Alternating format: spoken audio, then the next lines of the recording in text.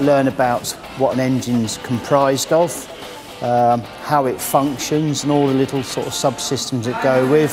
We look at chassis technology, we look at wheels, braking and all the little sort of uh, chemical elements involved in that and the different materials. We teach them safety aspects.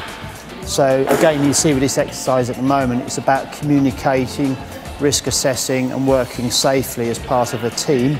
We put them under pressure with a little bit of competition and timing. They've got to think about safe working practices. Really, it's my time to share my skills, my learnt skills with, with the youngsters.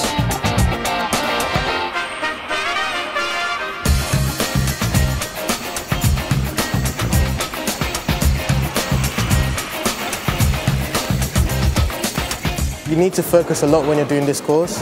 Like, you need to have a clear head because if you don't focus, one mistake can like pull you back a few minutes.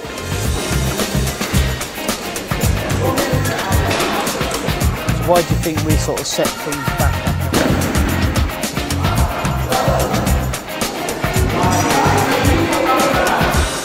13 minutes 19.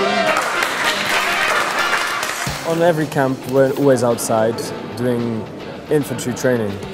And this is actually quite an amazing experience for a lot of us as it's something very different. No one's done this in the country.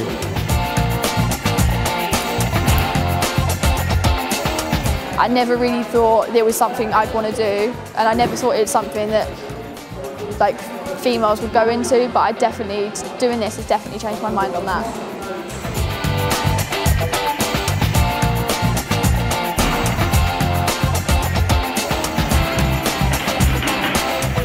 I was the weak link, but obviously I proved that I wasn't, and that was obviously the best moment for me.